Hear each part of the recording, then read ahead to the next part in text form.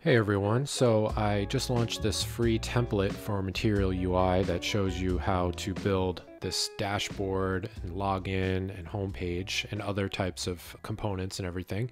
And one of the concepts that we use a lot in this template is the Material UI grid component.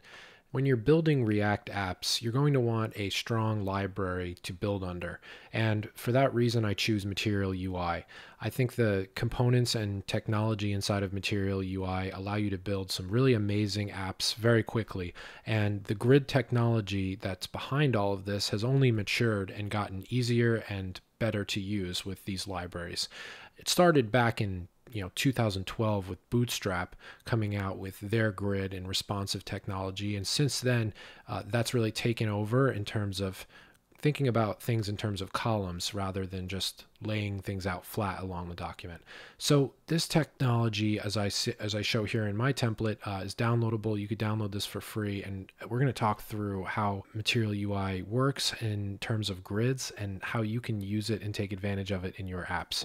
So we're also going to talk about our blog post here called Material UI Grid Component. So we're going to talk through how you can use the Material UI Grid Component to actually build your own grids and how they work in our app as well. So we're going to show you a couple examples in our app.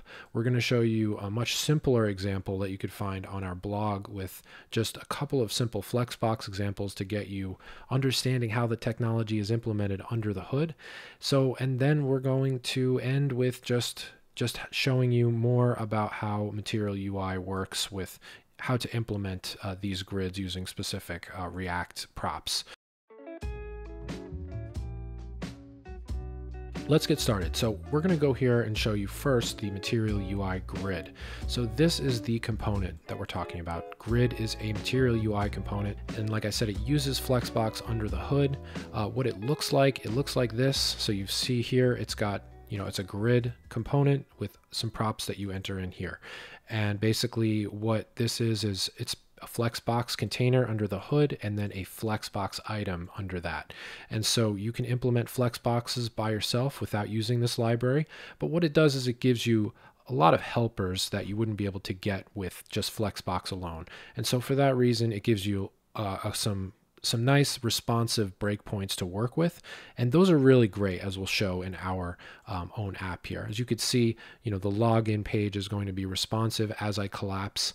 And then we're just going to show you that. And then also just some examples on, on our blog here. So let's go ahead and first kind of roll it back in here and say, well, what is Flexbox, right? So you know, if you look here, this is the official spec for Flexbox.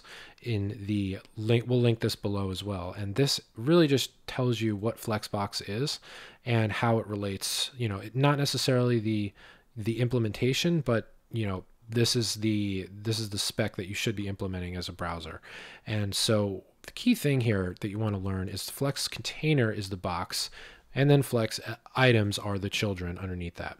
So you've got a parent, and then you've got children underneath that.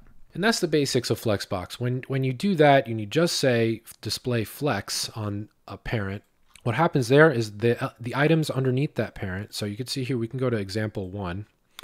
Go to the examples and click example one and collapse this. You can then see here, all we're doing on the container is just saying display flex. This is Material UI's style, by the way, if you're not familiar with this. It uses uh, JavaScript to specify the CSS properties. So here we have just that container display flex and then the items are the only thing that's on them is the blue outline just to get a sense of what's actually happening here. So this is a basic flex box. And now let's say you wanted to increase the items here, increase the item width. Well, what you could do with that is you could use the flex grow property. And so if we go here to uh, the spec here for CSS grid. You can see here we have under flex shorthand, we have uh, the property here, flex grow. Now, flex shorthand is a way to specify a bunch of other properties at once. So you could specify the flex grow, the shrink, or the basis all at once. And we're only going to talk about flex grow and flex basis today, but flex grow is basically uh, the flex grow factor, which determines how much flex item will grow relative to the rest of the flex items in the flex container when positive free space is distributed. Now, when it says here, when omitted is set to one, that's actually incorrect. It's set to zero. And I could show you that if we go to Mozilla, we have here Flex Grow. And we could see here that Flex Grow defaults to zero. Now, what this means is when we go here to the example that we'll show, so in the example, we have no space being used, right? We, this whole container is taking up this whole width of this whole uh, section here, right? But when we set flex grow, let's go here to example two. When we say flex grow to one on a component, which we'll do on the second one here, that component takes up all the remaining space that it can because the other ones have flex grow to zero. So it does a ratio, right? If I had another one here, if I just, I could show you this real quick. I can copy this component here, paste it here. And then what happens then is two components are taking up the remaining space. So they both have flex grow 1. I could change one to have flex grow 2 and the other to have 1, and that would take up twice as much space. It would be like a 66%, 33% if I did that. So that's kind of flex grow in a nutshell. Now sort of move on to flex basis. So we have flex basis here. Now flex basis is going to set the initial main size of the item before free space is distributed according to the flex uh, flex factors like CS uh, like according to the flex factors like flex grow. Okay, say that 10 times fast. So we have Normal Flexbox with 33% flex basis and 33% max width. So what this is, let me go here to example number three. Now you might be wondering, well, why did you, what are you setting flex basis and max width for? What's the significance of these two properties?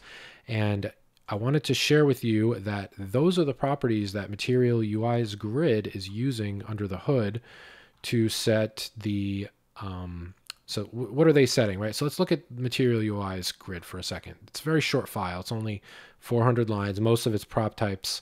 But basically, as you can see here, they provide an option for auto layer layouting. We're not going to touch on that right now, but basically that, that allows you to set one of the children to take up the available space like we showed.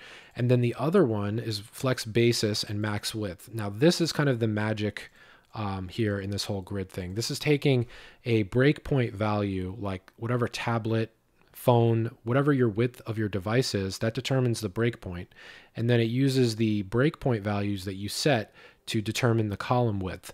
And what it's going to use for that is the flex basis and the and the max width here. So it's going to divide um, the size, you know, by 12 because it's going to do 12 columns, and then it's going to approximate what the width of that column should be. So if you have a four column layout or a three column layout, you want to have that take up 33% or 43%, right? Or if you have two columns, it's 50%.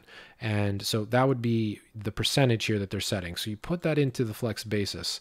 And what happens when we do stuff like that, when we use the flex basis, what we're doing is we're setting those widths. So we're saying I want all of these to be 33% flex basis and 33% max width. So we're also setting max width because um, the max width uh, would prevent it from collapsing. So flex basis is just the default kind of main value before they are squashed or expanded, depending on if others have sort of a flex grow or something in there. Um, and so, yeah, so what that's going to do is just allow you to just demo, you know, you could see exactly what we're doing here. Example three. So it's not like we're set, we're, we're implementing this grid with a lot of new technology. Material UI is just using Flexbox properties out of the box. So now let's finally go and talk about Material UI's grid again. So we just learned a little bit about Flexbox and Flex Grow and Flex Basis, right? What you can also get out of this is spacing. So they're going to allow you to help, you know, specify the spacing uh, values in between each grid grid item. So let's go ahead and talk about the terminology. So Flexbox we talked about is just a div, right? We were just using divs there with basic CSS. Here you need to use a grid for both the grid item and the grid container. Now you have to specify a container and or item on your uh, grid because you need to um, take advantage that kind of signals to material UI that you're using a item or a container and they do their own uh, styling based on whether it's a container or an item. For example, they saying it's a container will set the display flex property that turns it into a flex box. Flex item is going to do some other things like set the margin to zero. by default and have box sizing equal to border box, just like the container. So that's how you sort of create the grids in Material UI. Now let's talk about the responsive breakpoints. So if we go back to our blog post here, we have we just talked about this, the properties of Flexbox. So now we could, we're going to talk about the breakpoints. So we have XS, SM, medium, large, and XL. So these are the breakpoints in Material UI by default. You can update these if you want. But what this says in the context of grids is when I say XS equals 6, so it's a 12 column layout. What that's saying is I want this to take up six columns, uh, or I want this to take up, so yeah, six columns on all devices. And it's going zero pixels up until all devices. So it's up. It's like anything greater than zero pixels is going to get this amount of columns. If you omit the um, property here, if you if you don't say any, well, we're getting ahead of ourselves with that, but let's say here, this is an example of that, right? XS equals 12. So if you omit this property here, if you just say XS, it'll be true, and that'll make it grow to as big as it needs to go. That setting flex grow is, is equal to 1. And you wouldn't really know that, but just saying XS as true, that's what that does. And we could go here and look at the API. I know I'm jumping all over the place, but this is the grid API here, and we have all of these properties listed here. So when we go to XS, we see um, this also has the ability to say true or auto, right? So XS is going to, so either way, these are the breakpoint values here. And you could specify these here. So you could specify like any number of columns and it's going to go up. So what we do here in our example, if we go back to the responsive uh, grid example, you have, here we go, number four, you see here we have this grid. And what this is saying is XS12, SM6, medium 3. And so I write out the definite, like what's going on there. So let me just collapse this if I can figure it out. So from 0 pixels to 600 pixels, I take up 12 columns. Then, the, because this is overridden in the next uh, device width, right, SM, what happens then is we say 6. So then we want it to take up, so let's see, we're on our small device, right? It takes up 12 columns. That's the full device width. Next, we stretch it out past 600 pixels and we get the next breakpoint. So we say SM6, which is half of the device because six columns is half of 12. So then we do three, which is 25%, and that's medium devices. So on medium devices, it goes to four. And this is a common use case, right? You want something, let's say you're doing pictures, right? You want to when you go past a certain width you can't fit four pictures side by side anymore so we go to two columns. And then eventually on mobile devices you are only going to want this to take up one row for each uh, item. And so that's a gist. That's how you do this. So that's the general breakpoints how that works how that sets the the device uh, how that controls what happens on each device width and how many columns that's setting on each grid item. So this is the grid container. Once again, specifying container makes it a flexbox. And then, yeah. All right, so now we're going to talk about how this works in the context of our dashboard app. So as you can see here, we have a sign-in uh, modal here. Now this is using the Justify Center prop. This, this sets the Flexbox Justify content prop as you can see here in the API, the justify prop defines the justify content property of Flexbox, and that's going to center the, the grid here.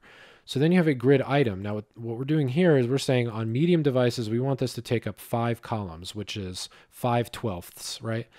It's a, it's sort of almost half, right? It's uh, five out of 12 is, is not quite half the whole width of the device, but it's like one, it's five out of 12. So I don't know what that is in percentages, but as we go down to a small device, we're going to take up eight out of 12, which is four sixths or also two thirds. So 66%.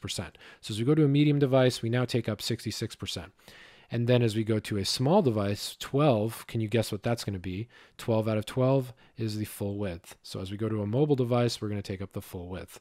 So this is the grid template. You could download this below and you can see how we use a lot of different other types of grids. So I hope this lesson was helpful for you and helps you to get a little bit more understanding of how the Material UI grid works. Thanks.